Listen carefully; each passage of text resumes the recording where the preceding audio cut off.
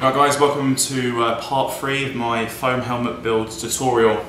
Now, if you watched the first videos or whatever, you would have noticed that I did the entire uh, helmet in this um, duct tape form. Because I've made alterations to the actual helmet itself, none of the original cuts are going to match up when I put on the back of the helmet. So what I now have done, I've gone back to the original way doing it. Basically what we did in the first stage is cover it in tin foil and then cover it in uh, duct tape. So when I put the helmet back on, I know exactly where the seam's going to be with the back of the helmet. So that's going on now. I'm going to cut it out and draw lines and all that sort of stuff. So, yeah. Okay then, I've just uh, done the old masking tape thing and cut it out and that and uh, laying it out. It looks a bit like a jellyfish. So it's going to be emotional trying to cut it out. Hopefully it all works. I'll do that now.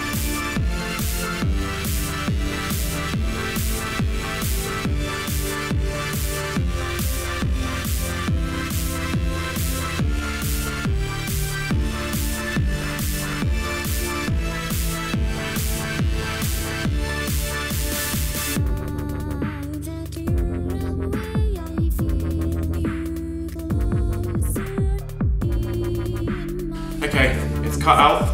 Um, it's looking like it's going to work perfectly.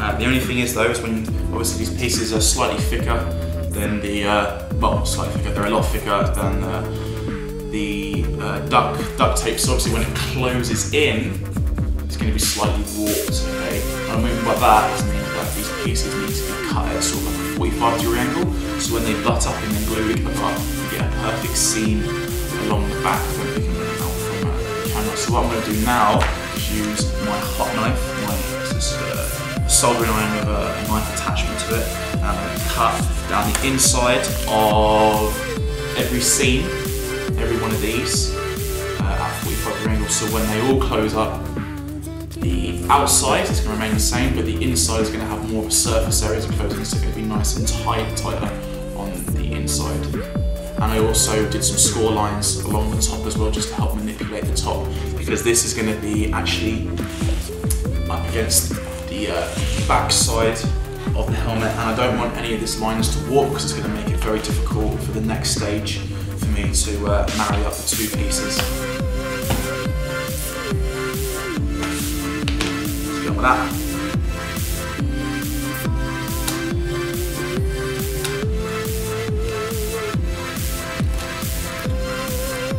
Okay then, uh, it's cut and it's been glued and I've checked it and it all fits.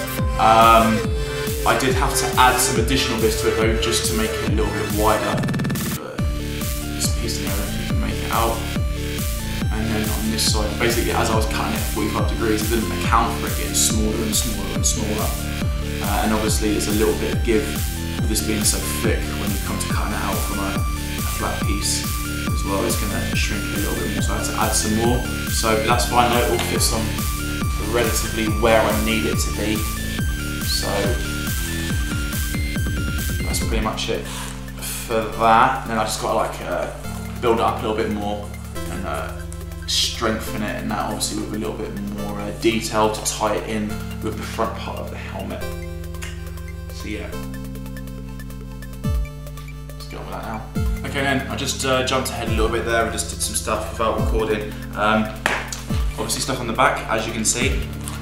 Uh, and I've uh, cut it to where I roughly want it to sit on the back of my neck, on the back of my head. Uh, I put these in to uh, strengthen it up. Uh, and that's to part of the design as well. So, so yeah, that's how the helmet's going to sit roughly look. I'm still going to build on the back. I'm to sand some stuff down as well. Yes, yeah, so I'm planning to build up the back, have something that's going to overlap. If you can imagine that the helmet's in two halves, obviously, but on the back piece, the part is going to overlap onto the front piece like this, and then the same on the opposite side. So when it comes all together, you're not going to see the seam, you're just going to see all the detail work along the tops parts here and on the triangle. And, then obviously the same for the side as well. On I'm gonna do something along there, possibly, maybe just, uh, just overlock each other like that so you don't see any defining lines. So the lines that connect the front, uh, sorry, the back part to the front part are all over the place. So it sort of breaks it down so you can't really see where the helmet conjoins.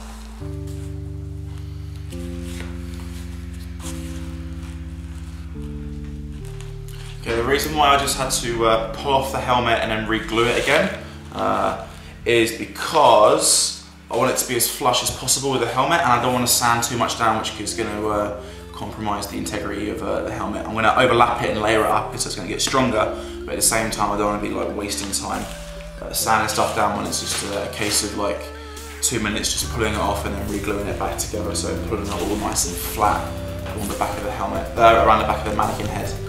Sorry. So now if you look at it, before these side bits here on the back were sticking out. So when you looked at it, they were out a little bit. Now I've just sort of glued them down and they're flush. So when I come to put the resin on it and the um, uh, the Bondo and stuff, it's going to give it a little bit more strength. So when it pull it off, it's going to hold that shape and hopefully be nice and streamlined with uh, the rest of the helmet.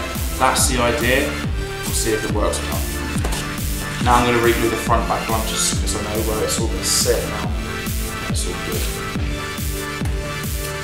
And that's all glued. So now, because I know it's all pulled tight uh, across the whole uh, mannequin head and any imperfections where it sticks out, I don't know if you can see that, where it sticks out there, where it's not completely flat. I know now that I can sand this down and I can overlap it and when I overlap it it's going to be nice and both sides. Okay, whereas before this was sticking up a lot more because it wasn't completely flat to uh, the mannequin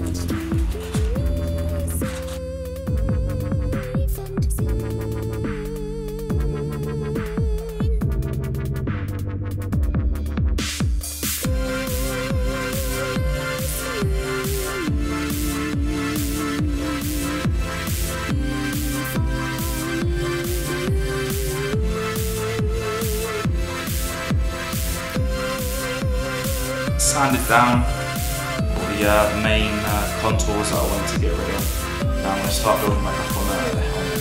So I'm going to focus on this part here. Uh, I'm just going to be attached to this back of the helmet, but it's going to overlap into the front, so I'm going to try and mask and hide this uh, seam.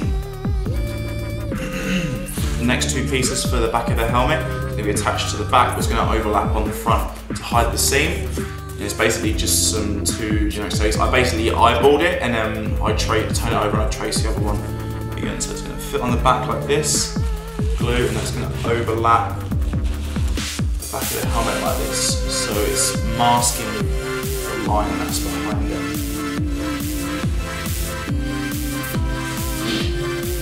Okay, as you can see I've uh, fitted the pieces on, they're glued, they're not glued to the front of the helmet and it's uh, trying to mask the uh, seam underneath. I, I, I, just have to keep repeating that because uh, just so it formulates in my head. Okay, so that's that. Now then, I also want to hide this as well, so it's sort of like over encloses. So I've uh, basically eyeballed uh, these two pieces. Well, I cut one and I turned it over and then I traced it so they're both uh, the same. So what's going to happen is now is that I'm going to uh, come on this side I'm going to take this piece and I'm going to attach it to it and I'm going to glue it all the way around. Okay, so when the helmet gets enclosed, uh, the helmet is underneath the back of it and on top, if that makes any sense. So it sits into like a sort of a, a biscuit. And I'm also going to sand this down and then have it look a lot better what it is. And then obviously the same on this side with this one. The same on this side this one. So then just, so like that. So it goes on like that. So now we're going to glue these on. Going to just manipulate it with my hand. And tight.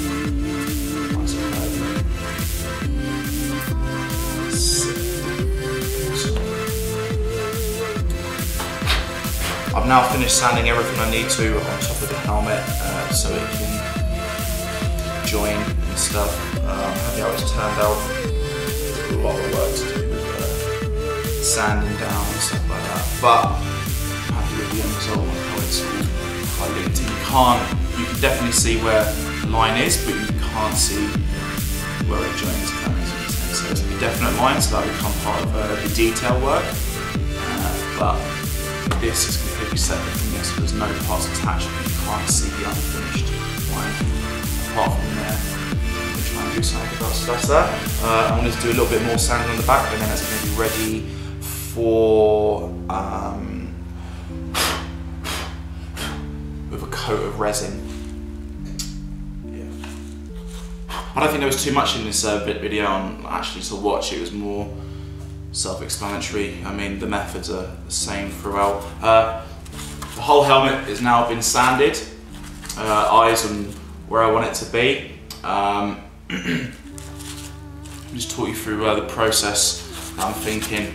I did want a lot of detail in the back, like a lot of hard um, edges to uh, use the Bondo on, but now I'm thinking I want a completely smooth back and I'm going to use the Bondo uh, to actually uh, put some detail work in some really nice fine lines and maybe a stencil or something like that. But yeah, so that's going on. So obviously the whole helmet's like done now. Like I ain't gonna add anything more at this stage. The next stage now for me is to resin the entire helmet.